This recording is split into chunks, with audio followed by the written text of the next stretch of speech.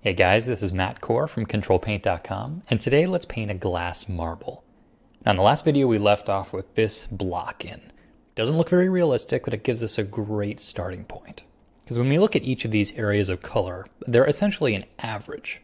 Well, the process of refining for me is to lock the transparent pixels, or any other sort of edge control you want to do, and then begin to get a little bit more specific. So for instance, near the top of this it gets a little bit darker. So I can use the brush tool and select the color that I already have here, and then just make it a little bit darker. So as I paint that in, I'm using the lock transparent pixels to help me paint inside the lines.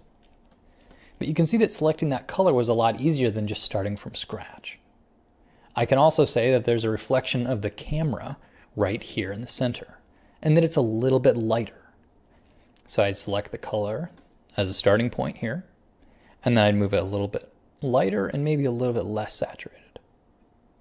So I'm really looking at relative color. I'm not just picking each color from the vacuum. Instead, I'm using the surrounding colors as a reference point.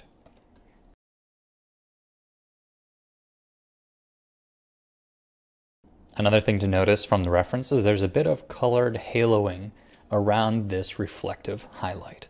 So for that, I might make a separate layer, select my starting color here, and then figure out the relative difference. And then I can paint that in here. If I want to make it a little bit brighter still, I can nudge that color a little bit and continue to paint. And if I wanted to, this is when I could begin to add detail. So here I'm using a very basic airbrush, but I could instead use a brush that has a little bit more texture to it. And so in this way, I'm not just picking an accurate color, I'm also considering the sort of brush texture. I'm really trying to indicate that surface. But the changes now are all very subtle. As I paint, I ask myself, is the part of the reference I'm looking at lighter or darker than what I currently have in my image? And then I'll adjust accordingly, just a little bit. So I'll often start by selecting the color and then move it either a little bit up or a little bit down. But for the time being, I'm still going to keep these as separate layers. So here I have a single layer that is this dark area. So I'm going to paint below that. Now I'm to start working on the lighter area. And even though I've sped up the footage here, I'm just doing the exact same thing. I am breaking down an area of flat color into slight variations, a little lighter, a little darker, a little more saturated, a little less saturated. And then I'll follow the exact same process here with my shadow.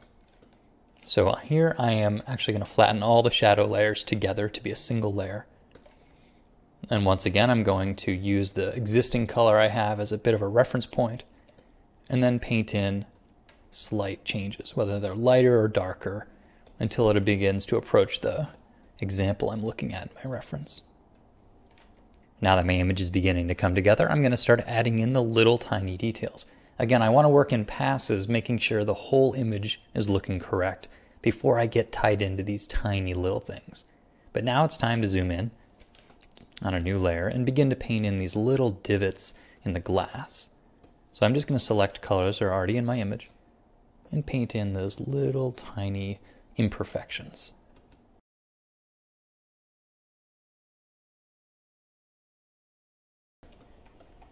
So once you've got all the correct colors laid in, then the next step is just to blend between them. But no matter how you do it, whether it's just with the brush tool or with smudge tool, this is when you start looking at how colors transition from one to the next. Sometimes it might be soft, sometimes it might be hard, and that says a lot about the material and the type of lighting. And then at the very end of the process, I like to paint with a large airbrush very gently just to kind of flatten out certain areas. Because sometimes as you begin to add in all these little tiny details, you end up with too much visual noise and clutter. And then I'll erase that away where it got a little too heavy-handed, specifically here where I want to retain that sharpness and that pop of a highlight. As long as you started with a pretty nice block in, it's going to be much easier to do this refining phase with confidence because you're really just adding detail and fixing edges. But if you want to paint like this, you just have to understand the basic principles. We used locked transparent pixels to stay painting inside the lines as we refined our areas of color. Then once everything was looking pretty good, we flattened it all together and began to work on our edge control using on-screen blending and the smudge tool. Now, if you want to know more about either of those techniques, follow the links at the bottom of the post and you can watch videos that explain them in depth. Have fun painting. Thanks for coming to the site, guys.